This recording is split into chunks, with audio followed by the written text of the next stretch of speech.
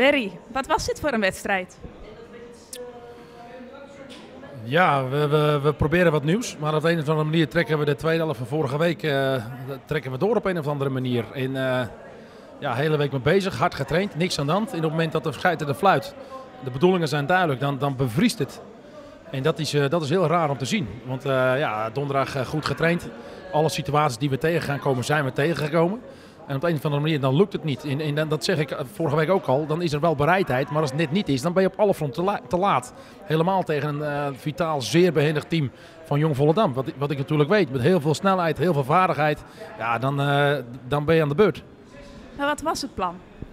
Nou, het plan was dat we met... We, kijk, we willen de mensen vermaken. En op het moment dat, dat je het laatste kwartier... Dat hadden we de hele wedstrijd gewild. Gelukkig hebben we wat bewaard voor het laatste kwartier. En we, hebben, we zijn erin blijven geloven. En ja, dan heb je drie punten. Kijk, of je, meer krijgt toch niet. Maar ja, ik, ik kwam hier hoog blond. Ik ben nou uh, lichtgrijs. Dus ik, ik snap af en toe niet wat er aan de hand is. Misschien raken we aan een psycholoog. Ahmed, een uh, zuivere hattrick. Ja, zeker. Heel zuiver. En uh, staat er lekker in. Belangrijk. Uh, ja, lekker man. Gelukkig ook nog gewonnen. Het is heerlijk.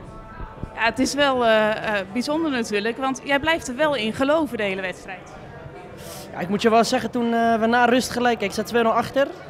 Dan denk je van, oeh, wordt, wordt lastig. En dan wordt het na rust gelijk 3-0. Ja, dan zak je wel door het veld bijna. Maar ehm, ja, je kan één ding doen, je kan, je kan, je kan gewoon doorgaan en gewoon wachten op goede ballen. En ik denk dat Danny mij goed wegstak.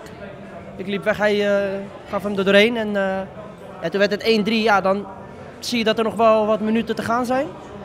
En je weet ook wel dat hun uh, in het verleden heel vaak, zelfs vorig, vorig jaar ook, gewoon in het laatste kwartier veel goals tegenkrijgen. Ja, dan kun je, kun je twee dingen doen. Dan kun je denken van ja, het zal wel, we kijken wel. Of je gaat er met z'n allen voor en je probeert er nog wat van te maken.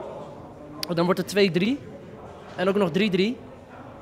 Ja, dan moet je vol voor die laatste, voor die laatste gaan om hem te maken. En uh, gelukkig, uh, ik schoot hem er bijna nog zelf in. Maar die verdediger zat er goed tussen.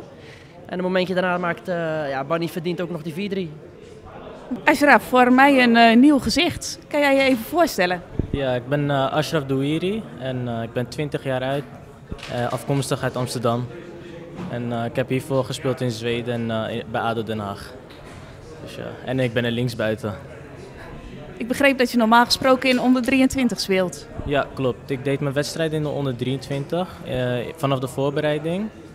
En uh, ja, ze zagen dat ik het goed deed en uh, ze hebben me beloond met de kans bij, e-, bij het eerste. Dus ja, en vandaag stond ik er basisdebuut in 90 minuten.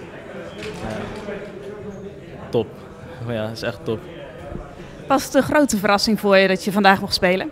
Ja, zeker. Ik had het niet zien aankomen, want meestal als mensen hun debuut maken, uh, vallen ze in met een paar minuten of iets.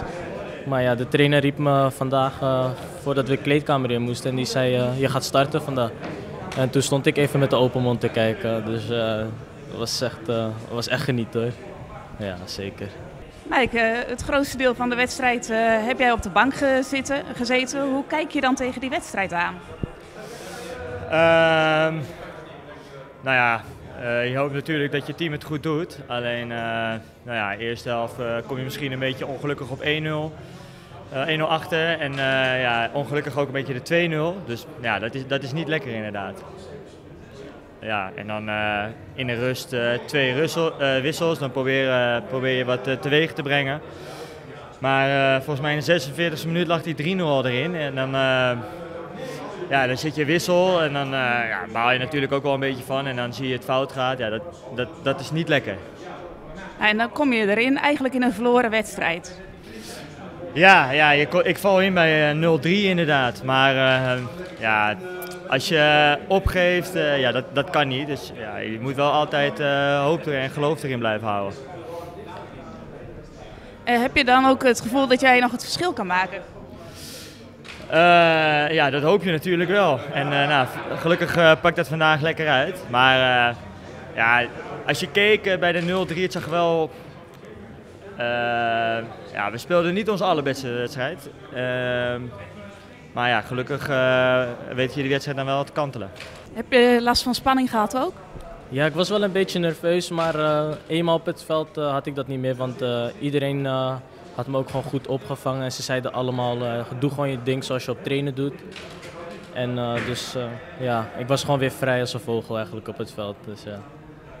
En hoe kijk je terug op je debuut? ja, een zwaar bevochten duel natuurlijk. 3-0 achter en uiteindelijk 4-3 gewonnen. Maar naar mezelf ik vond mezelf niet echt hoe ik altijd ben. Want het, het, was meer een vechtduel, vind ik. Maar uh, ja, ik zal mezelf misschien een 6 geven voor dit duel. Ja. Maar uh, ik kan veel beter van mezelf hoor. Nou, volgens mij mag je best tevreden zijn. Anders laat de trainer ook niet staan, denk ik. Ja, zeker. Hij heeft me laten staan. En de winst is binnen, dat is het belangrijkste natuurlijk. Ja, je koos wel voor een, uh, voor een verrassende opstelling uh, wat mij betreft. Kan je daar wat meer over vertellen? Ja, daar zijn we al een paar weken mee bezig om te kijken hoe we meer mensen richting goal tegenstander krijgen. Dus met overlappingen van de zijkant, met snelheid uh, voorin, met nummers 10 die achter Danny verschijnen. Ja, en, en natuurlijk twee van de gevaarlijkste topscorers van, van, van Europa. Nou, als je dan de boel goed controleert van achteruit, ja, dan, kun je, dan, dan ga je ergens mee starten. En vandaag uh, hebben we die keuze gemaakt voor deze vier. Wat meer te maken met de tegenstander. Die hebben drie hazen windhonden voorin lopen. Dus daar moesten wij gewoon op reageren met Sergio en Huip. Nou, die hebben de eerste helft een aantal sprints moeten, terug, uh, moeten terughalen. Ja, dat, dat, dan, dan ziet dat er goed uit. Alleen in balbezit uh, ja, ging het allemaal veel te traag en, en te sloom. En, en dan komt het wel. Nee, het komt niet. Dan moet je zelf hartstikke hard voor werken. Nou, dat hebben we de tweede helft, uh, was dat de opzet. Nou, dan kom je door een uh, vervelende tegengoal, kom je eerst op 2-0, daarna door een vervelende tegengoal op 3-0. Ja, en dan moet, je, dan moet je verschrikkelijk veel uh, rek in je groep hebben om daar weer bovenop te komen. Nou, en dat hebben we vanaf de zijkant zijn we blijven coachen, blijven neerzetten. Ja, dat, dat dat uiteindelijk betaald wordt, dat gebeurt niet altijd, maar vandaag wel. Die veerkracht is er dan blijkbaar wel in de ploeg. Ja, maar dat zeg ik elke, elke keer tegen de jongens. We hebben zoveel kwaliteit en we hebben zoveel plezier. En waarom dat nou op zaterdagmiddag niet tevoorschijn komt, ja, dat is raar. En, en deze laatste 20 minuten zijn daar weer een bewijs van. Daarom zeg ik ook, waar raak aan een psycholoog? Ja, het is ongelooflijk. Eh, we scoren dan in één keer vier keer. Uh, uiteindelijk je bracht uh, Mike van der Pan in en dat veranderde eigenlijk de wedstrijd. Was dat nou gewoon een gouden wissel? Nee, dat zijn, uiteindelijk zijn dat stappen die je maakt. En dan weet ik dat het publiek dat eigenlijk met de rust al wil, maar dat gaat niet. Dus dan heb je, heb je, dan zeg je, oké, met de 70ste minuut gooien we alles open. Dus het kan ook zijn dat je met een counter uh, met 4-0 uh, naar huis gaat met z'n. Maar nu uh, pakt het anders uit. En, en de verbijtenheid die, die start bij Sunny Montero en bij, bij Jamie Schaap. Ja, die, die, die, die wijken niet. En die, en die wonnen alle duels en die bleven pompen. Nou, Mike erbij met zijn snelheid achter de spitsje. Ja, dus dat, dat, dat ken niet anders dan dat wij op een gegeven moment doelpunten gaan maken. Ja, Ahmed is super, super scherp. De afgelopen week al. Danny wordt zachtjes aan weer fit. Daar moeten we hem bij helpen. En uh, ja, kijk, als hij ook weer doelpunten gaat scoren, dan wordt het weer leuk. Maar deze drie punten, die hebben we bij. En dan hebben we vier gespeeld, negen. En uh, ja, ik zit vol met vraagtekens. Maar we staan gewoon bij de eerste drie. Ik, ik, uh... nee, ik ben blij met drie punten natuurlijk. Want het ziet ernaar uit dat je zit op een afgang ziet het eruit. Je creëert de eerste helft gewoon helemaal niks. Er gebeurt helemaal niks. Uh, ja, je, hebt, je trekt die tweede, tweede helft van vorige week, die trek je nu gewoon door de eerste helft. Ja, daar word je niet vrolijk van. En dan, uh, ja, wat moet je doen dan? Dan denk je van, uh, ja, het wordt een afgang als je 3-0 achter staat. Ja, gelukkig hebben we er wat aan kunnen doen en hebben we hem gewoon ook nog gewonnen. gewoon de wedstrijd volledig uh, gekeerd. Ja, jij bent uh, wel weer, uh, net zoals het begin van vorig seizoen, echt de doelpuntenmachine. Ja, nou ja, weet je, als ik ze voor mijn voeten krijg in de 16, dan moet je tussen de palen schieten. Dus dan, dan kan die erin gaan en gelukkig valt hij, valt hij er ook in. Volgens mij zijn dat de enige kansen die ik heb gehad. En dan ging ze er allemaal in, dus ja, lekker toch? Ja, nou uiteindelijk, jij komt erin en eigenlijk kantelt dan de wedstrijd. ligt dat aan jou? Nou ja, dat is, dat is lastig te zeggen. Natuurlijk ben je nu belangrijk met, met twee assists en uh, doelpunten. Maar uh, ja, dat is een beetje cliché. Maar je, doet het wel altijd met z'n allen. En uh, ja, ik, ik, ben wel blij dat ik daarin een mooie bijdrage kan leveren. Maar het is niet, zeker niet alleen aan mij. Een glansrol kun je wel zeggen vandaag. Nou ja, wat ik zeg, ja, je probeert altijd een bijdrage te leveren. En met twee assists en een goal ja, is dat wel mooi inderdaad. Nou, dit willen we natuurlijk niet nog een keer zien. Wat, wat moet er veranderen om ervoor te zorgen dat we beter starten? Nou ja, zijn wel gewoon drie punten, toch? Dus uh, nee, maar uh, goed, ja. Wat ik zeg, je komt volgens mij een beetje ongelukkig op die 1-0 en ook een beetje ongelukkig op de 2-0. Maar ja, ik denk wel dat het zaak is dat je altijd gewoon hard blijft werken en dat we, dat we positief met elkaar die wedstrijd ingaan. En ja, er zit wel naar mijn mening een stijgende lijn in en nou ja, dat, die, die moeten we doorzetten. En nu spelen we slecht, en, of tenminste slecht. Ja, we beginnen niet lekker, eindigen wel prima, maar ja, nu is het zaak om ook vanaf het begin goed te starten.